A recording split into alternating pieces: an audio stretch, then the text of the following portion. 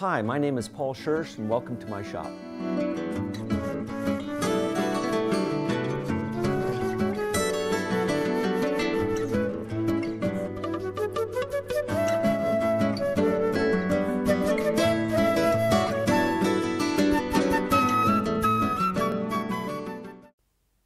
Welcome to this final segment of Marquetry 101. This is where we're going to glue up the veneer, sand it, and finish it. All right, in preparation for glue up, there's a few things that we need to gather. Uh, one thing that I'd like to clarify, in your optional kit, you had another two pieces of poplar or other veneer that we're going to be using for a backer. Uh, this oval is going to need to be glued to something, and I'm going to glue it to two other layers of veneer to make essentially a piece of plywood. I also have a clamping caul, which is MDF on one side, plywood on the other, some visqueen polyethylene plastic or the bag that your project came in, some canvas, and this canvas is bushing canvas. Like you saw in Veneering 101, it allows me to press up different thicknesses of veneer. So I'll put a layer of canvas down. This is the way it's going to go here. This polyethylene plastic.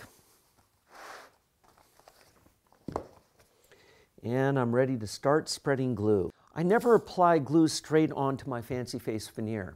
Just as I would glue up a panel of any kind, I'll treat this middle ply or this piece of veneer as my core. So I'll apply glue only onto this and I will stick it down onto my marquetry, apply glue only onto this middle layer to apply my backer.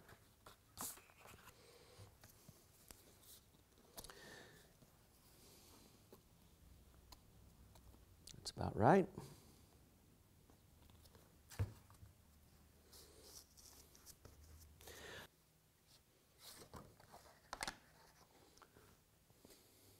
Lay this down on top. Right here, this would be a good spot for it.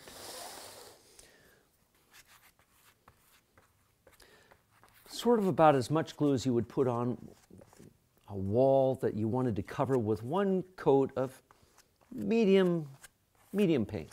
Now I place my, sure there's no debris on. Wrap it with the uh, plastic where I've put it into the bag. Top platen. And now it's time to start working it down. I think that it'll be enough to put four clamps on this. Okay, this is cured uh, for about six hours. Uh, it was nice and warm, so the glue should be pretty well cured. Now, one thing I need to mention with this um, using PVA, polyvinyl acetate, or uh, yellow or white glue, you know, it comes in a sealed container and it dries by evaporation. So when I take it out of the bottle and I put it into this bag or between visqueen or plastic, it doesn't have a chance to cure all the way because the moisture has nowhere to go. The panel should have glued up. There should be enough uh, uh, air inside the veneer to have cured this glue. Uh, I do still want to leave it, uh, let it set for probably a half an hour to an hour for the glue to completely cure before I take off my shelving paper and begin to sand. So this has had some time to cure. I've aired it out for half an hour to an hour. Uh, and you can see that the um, shelving paper does come off and uh, it leaves a slight residue. And this residue I can either scuff off, I can rub off, or I can actually use alcohol in a rag and I can remove uh, any of the adhesive left over from this, uh, uh from the shelving paper. Um, this came off fairly cleanly, so I'm looks like it's doing okay. I really like this particular brand of shelving paper. All right, fastening it down onto a extra platen, just the perimeter. This veneer is a little bit thicker right here where I have the oval. Uh, so there's two layers here, three layers here, so it makes it very easy for me to mount down. Okay, it's all fastened down with the tape. Now it's time to scuff sand. I scuff sand starting with 100 or even 80 grit sometimes. I would like to break through the gum tape, but I don't want to go too far. The veneer is very thin, and I use the gum tape as a guide on how much, uh, how much tape is left. And I know that if I have still a little bit of tape on there, by the time I've stopped scuff sanding, I know I have veneer underneath. If the gum tape is gone, there's a good chance that the veneer is as well. So I'm setting it up on this clamping jig and have a block here with uh, sandpaper glued on.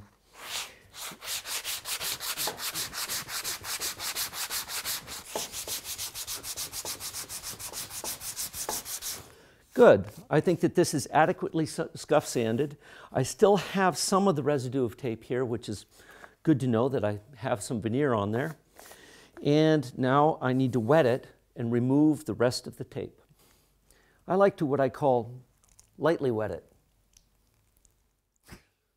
This is uh, maybe a little bit of excessive water, but it shouldn't hurt anything. You know, if the veneer bubbles, I want it to bubble now, not later. Not when after I got 50 coats of French polish on it or lacquer. Uh, if it's going to fail, it's, this is a true test. So it'll get through this stage, it'll last forever. Wetting it will reactivate this gum tape adhesive and allow me to remove the rest of it using this sharpened putty knife. It's a flexible putty knife and sharpened to a razor's edge. So it looks like the rest of the gum tape has come off and I can burnish it off. And this water that's on there, what happens if the veneer is loose or isn't glued properly? The veneer has nowhere to go when it expands except up. It produces a bubble. I can see those bubbles by holding it up to the light and pressing it down and you can actually see the bubbles coming up and when you push down it, it gets wet around that around that bubble where you push the water out. Like we did in Veneering 101, I would take that bubble, slit it along the grain. If it's a burl, I would make an undulating line, or with a straight grain piece of wood, I would cut it straight, pry up that little piece of veneer, and work a little bit of this uh, polyurethane glue, this Gorilla Glue, down into the crack with a toothpick, or even smear some up on top, and put it back in the press with some visqueen or polyethylene plastic to clamp it up.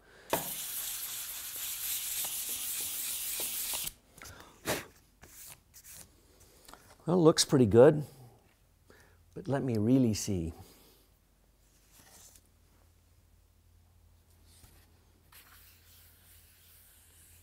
Looks good. I think I'm ready to go on to the next step, which will be cutting the oval out with the scroll saw. Okay, cutting out with the scroll saw, as you see, I'm just doing the outer perimeter right up next to the, uh, the dark burl, cutting off the subply and the core ply.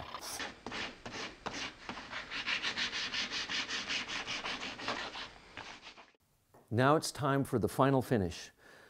I'll seal up this piece like I do all my furniture with shellac. Uh, shellac is a natural substance, uh, alcohol soluble, and I use this bullseye clear shellac, which is quite good for sealing up uh, my veneer work. Um, the way that I apply it, it can be applied with a brush or spray, but my preference is, is with a shellac pad. This is cheesecloth wrapped up in a uh, lint-free cloth, and what this does, it just drives the shellac right into the surface. Occasionally, if it's too thick, I can thin it down with alcohol, but in this way, I can put on a sealer coat, which will allow me to see any defects or any remaining defects or gaps or anything that I need to take care of before my final coat. I have a small a small area right here between this petal and the background that needs to be filled. I'll do that with Famo Professional Number One Filler. This filler is a very creamy consistency and um, it's acetone base, so it shouldn't affect the alcohol too much. Where I have is this little gap, and let's see, it was right here. I'll put it on Anything else? Yeah, right here, there's another one right here. Now, I will leave this on until it dries, probably about three or four, maybe five minutes, depending on your humidity. Okay, the putty is dry. With just 220 paper, I can scuff it back down to the veneer.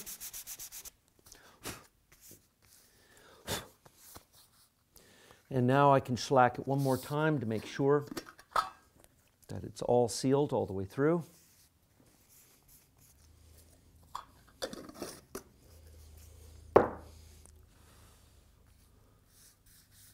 Already dry. So very thin coat. And now it's time to lacquer.